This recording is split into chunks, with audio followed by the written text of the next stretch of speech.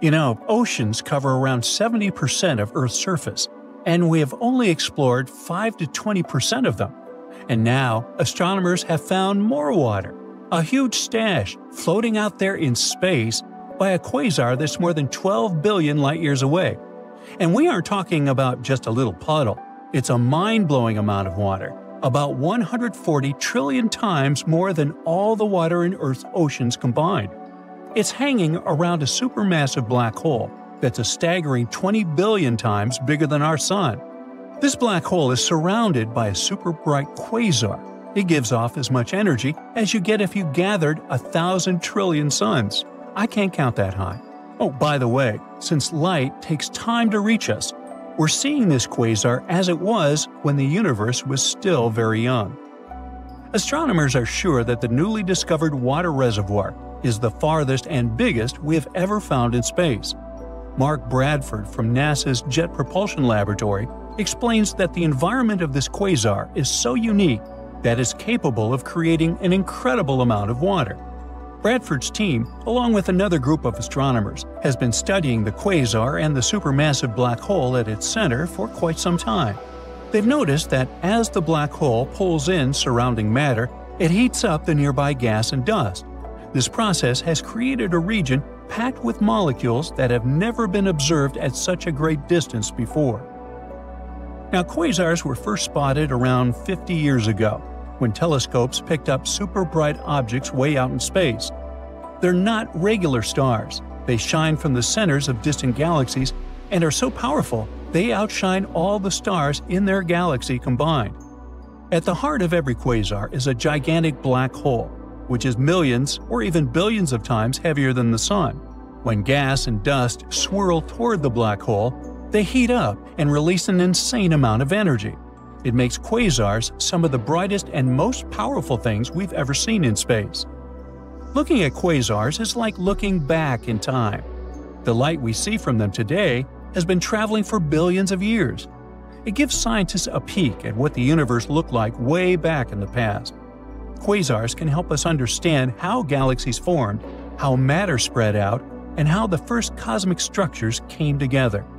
Some quasars shoot out massive jets of superfast particles.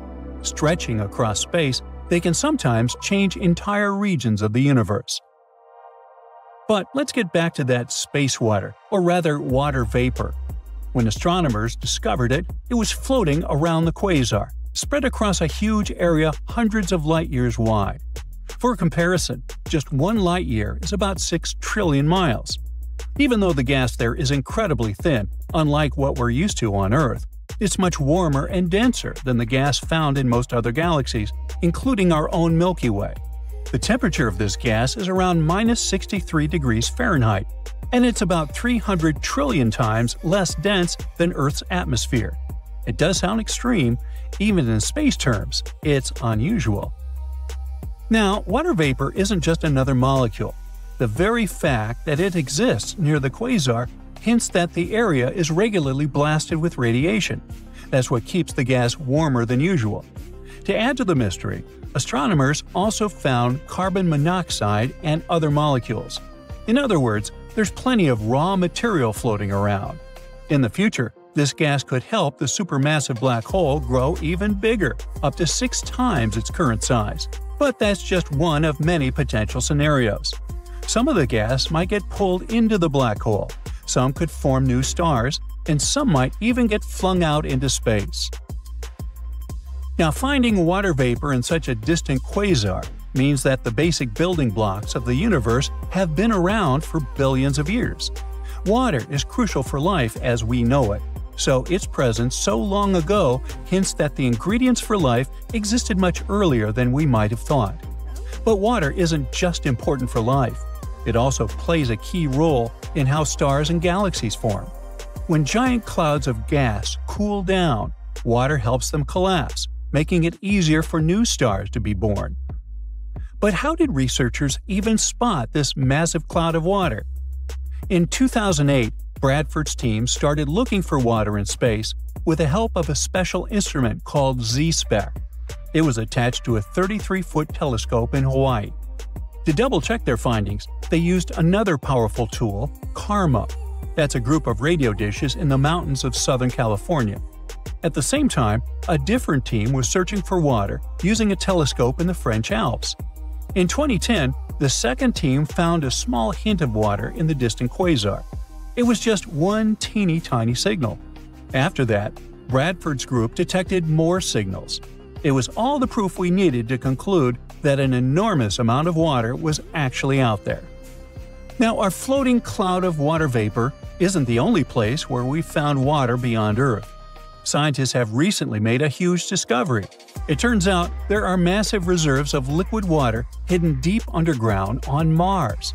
So, in theory, future astronauts could use this water to support missions or even make Mars a long term home. But of course, there's a catch. This water isn't sitting in nice, accessible lakes or oceans. It's buried so deep inside Mars that we have no way of reaching it with current technology. Scientists have figured this out by analyzing seismic data from the Mars InSight lander. It picked up some strange seismic activity, and the best way to explain it is by these hidden water reservoirs. Mars still does have some water today, mostly as ice on or just beneath the surface. But that's nothing compared to the massive amounts of water the planet had billions of years ago. The big mystery is where did all that water go? Scientists think it could have either escaped into space or moved into the planet's interior, where it might now be trapped as liquid reservoirs or ice deposits. The problem? We have no way of measuring how much water Mars lost. So for now, that question remains unanswered. Earth's moon has water too, but not in the way you might think. Instead of lakes or rivers, the moon's water is mostly frozen ice, spread out unevenly across the surface. The cold, shadowed poles are especially full of it, since they never get sunlight. A lot of this ice is also mixed in with lunar soil and buried deep underground, making it super tricky to get to. Then there's Enceladus, one of Saturn's moons. It's tiny, just 314 miles across. It's small enough to fit inside Arizona. Hmm, I think we should try that. Anyway, when NASA's Cassini space probe arrived at Saturn, scientists expected Enceladus to be a barren, frozen world. But instead, they saw huge plumes of icy particles and water vapor erupting from geysers near the South Pole. That meant there had to be a massive ocean hiding beneath its icy shell, sandwiched between the moon's rocky core and the frozen surface. The fact that this ocean is active and constantly sending material into space makes Enceladus a top candidate for future exploration. We also have Europa, one of Jupiter's moons, and one of the most promising places to search for alien life. Europa has a gigantic saltwater ocean that could be 40 to 100 miles deep. This means it might hold more water than all of Earth's oceans combined. But there's a big obstacle. This ocean is hidden under a thick ice shell, which scientists think is 10 to 20 miles deep. Europa's ocean stays liquid because of tidal forces from Jupiter's gravity. The planet's massive pull stretches and squeezes the moon, creating friction, which heats up the interior, stopping the ocean from freezing solid. And the most exciting part is that scientists think water plumes might be erupting from cracks in Europa's ice, shooting ocean water into space. Now, if that's true, we could potentially sample the ocean without having to drill through miles of ice. But there are still a lot of unknowns. How big are Europa's water reservoirs? How quickly do they refreeze? And how does the intense temperature and pressure affect the ice? Scientists are eager to figure this out because Europa's ocean is one of the best bets we have for finding extraterrestrial microbes somewhere in our solar system. Guess what? A huge ocean might be hidden deep beneath us, about 250 to 400 miles down, and it's bigger than any ocean on Earth's surface. Scientists were listening to earthquakes deep within our planet and noticed how these shakes slowed down when passing through certain parts of the mantle. This suggested that water was there. Models and experiments led them to uncover the underground ocean. But this ocean isn't like the typical water you imagine. It's a lot crazier. The mantle is a thick layer between the Earth's crust and core. It consists of the upper mantle, the lower mantle, and a mysterious layer between them called the transition zone. Ooh. In the upper layer, we can often find a fascinating material called olivine, which got its name from a pretty greenish color. Olivine doesn't care about high temperatures and thrives in lava comfortably. It not only thrives, but it even makes up 50% of the entire upper mantle. We can find this stuff on Earth thanks to volcanoes. When volcanoes spew their magma out, all the minerals in it make their way to the surface.